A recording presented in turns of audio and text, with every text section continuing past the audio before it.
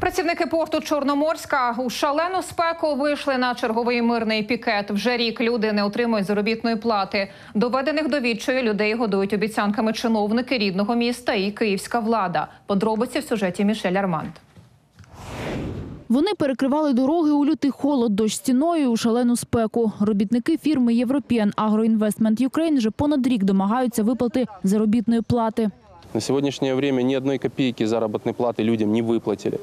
На сегодняшний момент э, люди не имеют никакой связи ни с руководством European Agro, никакой связи с руковод- руководством порта, которые бы выходили и каким-то образом бы объясняли дорожную карту. Ситуація не змінилася навіть після того, як робітники їздили до Києва в адміністрацію президента. Заяви та петиції від них прийняли, але далі тиша. Люди просили про створення незалежної комісії, з допомогою якої вони зможуть вирішувати найгарячіші проблеми. Але місяць сплив, а комісії так і немає. Нікому нічого не повідомлялось.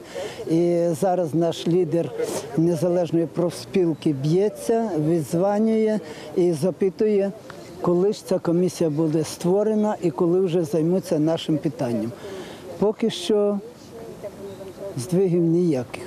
Строки виплати обіцяної зарплатні весь час переносять. Тепер це 1 серпня повлиять на э, фирму, которая объявила себя банкротом, э, в крайней степени сложно. В данный момент необходимо д- думать о наших черноморцах, о, м, о людях, и нужно обязательно разорвать в обязательном порядке договор э, аренды э, с Европиан Агро и э, всех людей перевести обратно в порт.